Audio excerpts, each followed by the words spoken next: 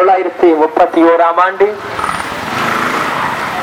அமெரிக்காவின் இலினோய் மாவட்டத்தில் வெள்ளைப்பிரம்பு தினத்தையொட்டி திருகோணமலையில் இன்று ஞாயிற்றுக்கிழமை காலை நடைபவனி நடைபெற்றது. திருகோணமலை புனித மரியாள் கல்லூரியிலிருந்து ஆரம்பித்து குறித்த நடைபவனியானது தபால் நிலைய வீதியூடாக மின்சார நிலைய வீதியை அடைந்து அதனூடாக புனித சூசியப்பர் கல்லூரியை சென்றடைந்தது.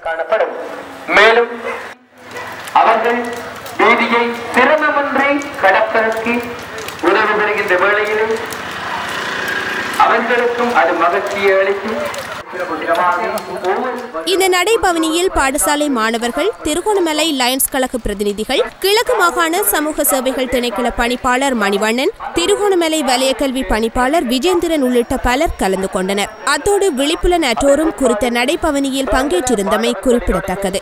கலை கலாச்சார நிகழ்வுகளும் அதிதிகளினுடைய உரையும். எளிதாக பயன்படுத்தவும் அவர்கள் அடையாள சின்னமாக சிக்கிறவர்கள் சுவாமி குறைபாடு உள்ளவர்கள் இந்த வேண்டுதலை எளிதாக